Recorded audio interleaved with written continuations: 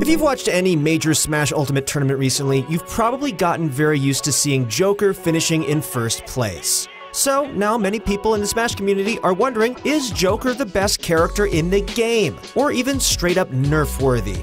My name is Christoph, and in this video, we're gonna dive right into Joker. Is he the best character? Is he worthy of nerfs? But before we get started, make sure you check out all the great features on Pro Guides, like InstaPro, which gives you instant access to experienced coaches in the game of your choice. We also have a great course with Zero himself on our platform, so make sure to check that out using the description link below.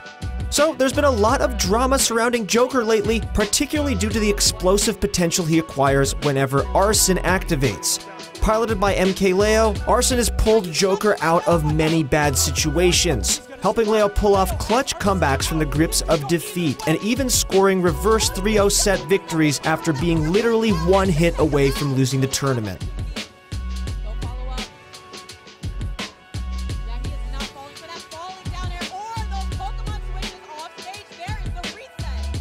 But how much of this is really because of Joker, and how much of it is really Leo's skill?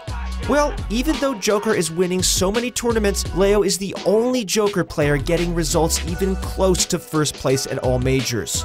But Leo has firmly established himself as a top 3 player long before Joker's DLC release, winning major tournaments with many other characters such as Ike and Lucina. At the very least, these facts confirm that MKLeo is a significant factor in the overwhelmingly positive results Joker has claimed. But it's difficult to be conclusive as no other top 5 or even top 10 players currently main the character.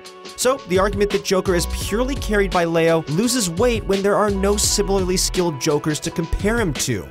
Now, taking a look at the character specifically, Joker does have an amazing toolkit with versatile options to deal with many situations. He's fast and mobile, has multiple combos at most percents, many kill confirms, incredible recovery and disadvantage state, projectiles, deadly edge guarding, quick frame data, glasses, and then there's the Arsene factor, which increases his range, damage output, and knockback significantly. Arsene also stays active for quite a while and is charged a bit every time Joker is hit, making it very likely to appear when the player needs to make a comeback. Despite the clear strengths that Joker has, many have raised counter-arguments that players aren't playing the matchup optimally. Aside from edge guards, Joker can struggle to take stocks without Arsene. His kill confirms are fairly telegraphed, easily losing to shield. When Joker has Arsene, it's wise to play more passively, interacting only when a clear opportunity presents itself. Little strategies like running away to bait and punish Eigaon can be very effective. In conclusion, Joker is an undeniably strong character, but without other top player representation, it's impossible to say that he is definitely the best character in the game, especially with so many other strong contenders such as Peach, Pikachu, and Palutena. Nerf to Arsene's duration, charge speed, or volatility wouldn't be too unreasonable, but it's by no means necessary, as Joker is clearly beatable even in the hands of MKLeo.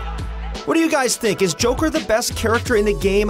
Let us know in the comments below and make sure you subscribe and click the notification bell so you never miss out on any of our daily uploads. And don't forget to check out ProGuides.com for other Smash videos like this.